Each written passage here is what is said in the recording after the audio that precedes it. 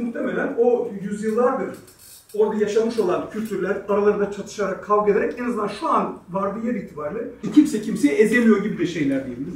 Olabilir, çok önemli değil ama en azından Aleviler kendilerini rahat hissediyorlar, Araplar rahat hissediyorlar, işte Sünniler, Hristiyanlar hepsi rahat hissettikleri bir yer. Kadınlar da rahat hissediyorlar. Yani bu bu rahatlık hali bana burası benim evim, burası da burada ben kendimi yabancı hissetmiyorum. Burası benim güvenilir alanım dediğiniz zaman orada şeyi anlıyorsunuz. Ha burada İstanbul'da, İzmir'de falan ya da bazı mahallelerin dışında çok hissedemediğiniz bir şeyi Antakya'da hissediyorsunuz. Bu kadar kaotik, bu kadar dibe çökmüş bir e, şehrin içinde o umudu koruyacak, umudu besleyecek bir kültürel sermaye var arkada. Duygusal sermaye, kültürel sermaye ne derseniz artık onu. O bir arada yaşamanın getirmiş olduğu bir güç. Ama burada abartmamak lazım. Bir yandan çünkü e, konteynerde yaşıyorsunuz. Konteynerinizin de çatısı atıyor.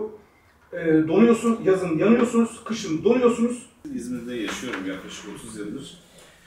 E, göç, mültecilik e, üzerine çalışıyorum. E, akademik olarak da, mesleki olarak da bu alan içerisindeyim yine uzun bir süredir. Oradaki birlikte yaşama tecrübesi bence aslında İzmir'de de çok uzun süredir devam ediyor.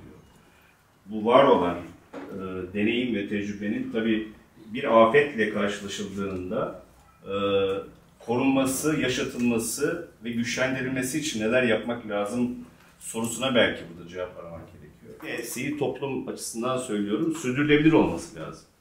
Burada başarılı mıyız? Ben hani Hatay'dan, Antakya'dan çıkaracak dersler anlamında söylüyorum. Başarılı değiliz ne yazık ki. Yani bu bu etkiyi güçlendirmek ve sürdürülebilir hale getirmek için çok daha örgütlü bir mücadeleye bence ihtiyaç var. Aslında günün toplamına baktığımda yani hani o çoğulculuk, çok seslilik, e, afet döneminde nasıl taşıyacağız ve katılımcılığı.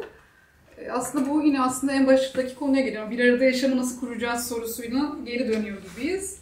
Afetlerde, kriz durumlarında eşitlik daha çok bozuluyor. Bana sorarsanız çok fazla daha akademik çalışmaya ihtiyaç var. Bir arada bu toplumun bir araya gelip e, alanları detaylı şekilde konuşmak. Çünkü şunu fark ettim hepimizin uzmanlığı ve ortaklaştığı alanlar hem aynı hem farklı ve çok boyutlu bir meseleden bahsediyoruz. Belediyede çalışırken, yani şu şöyle bir şey var, kentte de çalışırken belediye çalışanı ayrımcılık yapabiliyor. Yani götürdüğü sosyal yardımı Kürt mahallesinin, mülteci mahallesinin ya da romanların hak etmediğini ya da o sokağa giremeyeceğini öngörebiliyor. Bunun aşılması için hem hukuksal bir zemine ihtiyaç var hem de gerçekten bir dayanışma zemine, bir perspektife ihtiyaç var.